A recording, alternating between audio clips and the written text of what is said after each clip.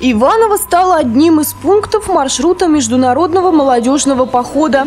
Около ста ребят из разных регионов России и Украины решили пройти дорогой народного ополчения 1612 года. А точнее проехать на автобусах.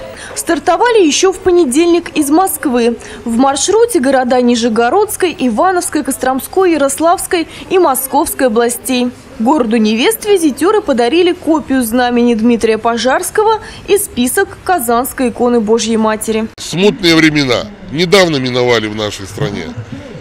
Буквально 20 лет последние мы только как восстановились. Но это э, этапы проходит Россия периодически. Встряски такие со смутным временем мы переживаем не первый раз. И э, поход наш имел основной своей целью, чтобы люди знали свою историю,